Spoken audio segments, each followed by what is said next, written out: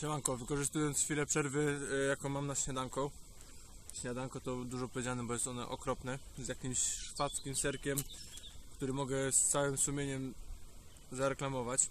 Landfriedschwe Klasse, whatever is it. Jest okropne, ale już kupiłem to zjem. Mam jabłuszko, więc to będzie pyszne. No i najtańszą kawę na świecie, czyli energy drink. Gracjan, gdzie idziesz?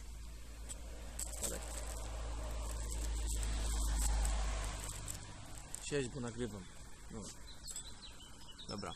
E, więc e, chciałbym wszystkich e, piekarzanin, piekarzan, e, piekarzan.